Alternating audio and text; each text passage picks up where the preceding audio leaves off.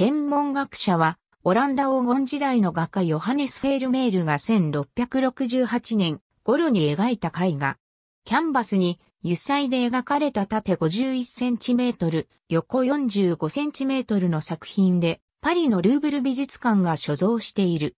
学者の肖像は17世紀のオランダ絵画で好まれたモチーフで、フェルメールの絵画にもこの天文学者と地理学者の学者の肖像を主題に描いた作品が2点。現存している。この2点の作品に描かれている学者は同一人物と考えられており、モデルとなっているのはフェルメールと同時代のオランダ人科学者アントニ・ファン・レーウェンフックだと言われている。描かれている人物が天文学者であるということがテーブル上のヨドクス・ホンリウス製作の研究儀とアドリアンス・ゾーン・メチウスの天文測定に関する著書、星の研究と観察からわかる。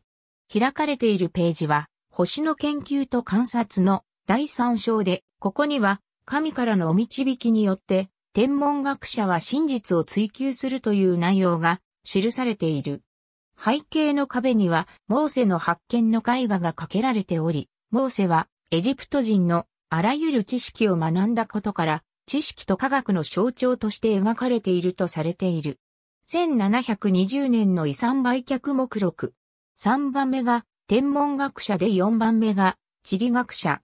天文学者の来歴は名前が伝わっていないコレクターがロッテルダムで天文学者と地理学者を同時に売りに出した1713年4月27日まで遡ることができる。購入者はヘンドリク・ショールフという名前の人物ではないかと言われ、この人物の遺産売却が行われた1720年3月28日に天文学者と地理学者が再度売りに出された。この時の売却目録には天文学者が天文学者デリフトのフェルメール作一級品地理学者が同情同様と記載されている。1881年から1888年の間のいずれかの時期にパリの画商レオン・ゴシェが美術品収集家だったロチルド銀行頭取アルフォンス・ド・ロチルドに天文学者を売却し、1905年のアルフォンスの死後に息子のエドゥアールが受け継いだ。1940年にナチスドイツ軍がフランスに侵攻し、パリにアルフォンスが所有していたホテルから天文学者を押収した。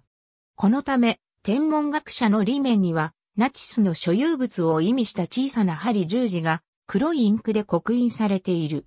第二次世界大戦終結後に天文学者はロートシルト家に返還され、その後1983年に遺産相続税の一部現物税としてフランス政府に納められた。これ以来、天文学者はルーブル美術館に展示されている。ありがとうございます。